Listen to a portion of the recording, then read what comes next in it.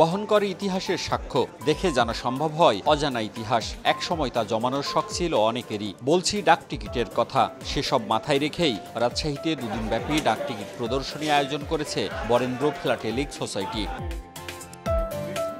প্রদর্শনীতে স্থান পেয়েছে বায়ান্নর ভাষা আন্দোলন, মুক্তিযুদ্ধের ইতিহাস, বঙ্গবন্ধুর সংগ্রামী জীবন, গণহত্যার ভয়াবহতা নিয়ে প্রকাশিত ডাক টিকিট। দেশ স্বাধীন হওয়ার পর প্রকাশিত স্মারক ডাক টিকিট সহ বিভিন্ন দেশের ভৌগোলিক অবস্থান, ঐতিহাসিক নিদর্শন সহ বিশ্ব ঐতিহ্যের স্মারক সম্বলিত ডাক টিকিটও রয়েছে এখানে। বেশিরভাগই কাগজ, কাঠ, প্লাস্টিকের তৈরি। আছে টিন ও কাপড় দিয়ে তৈরি ডাক টিকিটও। বাংলাদেশ স্বাধীনতার পূর্বে কিছু স্ট্যাম্প বের হয়েছিল, সেগুলো আছে। একদম স্বাধীন হওয়ার দুদিনের মাথায় যেগুলো বের হয়েছে, সেগুলোও আছে। এবং বাংলাদেশে বাহাত্তর সালের যে স্ট্যাম্পগুলো, ওগুলো, এগুলোও আছে। একদম পুরোনোর মতো আছে, একদম লেটেস্টগুলোও আছে। বিভিন্ন কভারগুলো যেগুলো বিভিন্ন সময় ইস্যু হলো, এবং এগুলো প্রত্যেকটা কভার প্রত্যেকটা মানে ঘটনাকে রিপ্রেজেন্ট করে। এই ধরনের কভার আছে, তারপর বিভিন্ন ম্যাক্স কার্ড আছে পোস্ট কার্ড আছে স্ট্যাম্প আছে মানে এবং পোস্টাল স্টেশনারি আছে।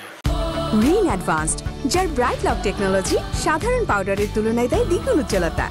ডাকটিকিট অমূল্য সম্পদ, এটি দেশের ঐতিহ্য, কৃষ্টি কালচারের ধারক ও বাহক। এই প্রতিপাদ্যকে সামনে রেখে রাজশাহীর নানকিং দরবারে রোববার ও সোমবার দুই দিন সকাল দশটা থেকে রাত আটটা পর্যন্ত চলবে প্রদর্শনী। এতে দেশের মোট পঁচিশ জন ডাকটিকিট সংগ্রাহকের সংগৃহীত ডাকটিকিট স্থান পেয়েছে। একটি ডাক টিকিটকে শুধু কাব্য না, মহাকাব্যই বলি যে একটি ডাক টিকিট কেন রচিত হলো, তার প্রেক্ষাপটটা কি, সে সময়টা কি, ইতিহাসটা কি, তার সংস্কৃতিটা কি, সেখানে যে গ্রাফিক্স আছে, তারও যে ব্যাখ্যাগুলো কি তো কাজে আমার মনে হয় যে এর গুরুত্ব অপরিসীম এবং বিশেষ করে যদি আমরা আমাদের ইতিহাস, ঐতিহ্য ধরে রাখতে পারি এবং একটা দীর্ঘ সময় ধরে এটা যদি চলতে থাকে, তবে কিন্তু আমরা এটা ইতিহাস বিনির্মাণে আমরা অনেক দূরে এগিয়ে যেতে পারব। এসব ডাকটিকিট দেখতে ভিড় জমাচ্ছেন নতুন প্রজন্মের শিক্ষার্থীরা। তারা সংগৃহীত ডাকটিকিটের মাধ্যমে ইতিহাস ও ঐতিহ্য সম্পর্কে জানছেন। সামনের দিকে যত আগাচ্ছি অতীত আমরা ভুলে যাচ্ছি অনেকটাই।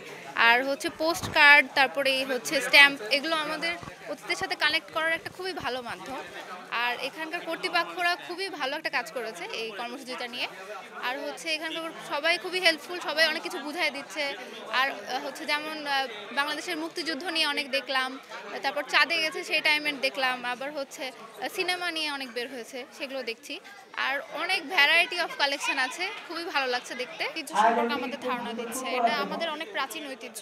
যেমন আমার পার্সোনালি বলতে গেলে আমার এই ব্যাপারে আইডিয়া অনেক কম ছিল, আমার জানার অনেক আগ্রহ ছিল, আমি সেটা জানতে পারছি, অনেক কিছু জানতে রাজশাহীতে এ ধরনের একটা আয়োজন আমাদের এখানে সমৃদ্ধ বরেন্দ্র রিসার্চ মিউজিয়াম আছে। সেখানে আজকে ডাক টিকিট বা চিঠিপত্র এই ডিজিটাল যুগে প্রায় বন্ধ হয়ে গেছে। তো সেখানে এ ধরনের একটা আয়োজন আমাদের এই পূর্বের স্মৃতি এবং আবেগগুলোকে আগে জাগিয়ে তোলা অবশ্যই আমার মনে করি ইতিবাচক। আয়োজক ও শিক্ষাবিদরা বলছেন ডাকটিকিট অসাধারণ জ্ঞান অর্জনের হাতিয়ার আর এর প্রদর্শনী খুবই শিক্ষামূলক।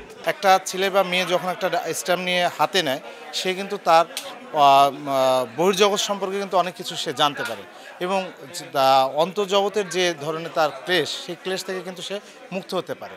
তো আমাদের সেরকম ইচ্ছা আছে যে আমাদের এই উত্তর অঞ্চলের যেসব ছেলেমেয়েরা ডাকটি সংগ্রহ করে, তাদেরকে একসাথে আমরা করে আমরা এরকম আয়োজনের মধ্যে দিয়ে আমাদের যে সংগ্রহ, সেই সংগ্রহকে অন্যদের কাছে উপস্থাপন করা। জাতীয় আন্তর্জাতিক পর্যায়ে প্রদর্শনীর পাশাপাশি ডাকটিকিট সংগ্রহে নতুন প্রজন্মকে উৎসাহিত করাই মূল লক্ষ্য ভাষ্য আয়োজকদের। মৌদুদ রানা, সময় সংবাদ, রাজশাহী।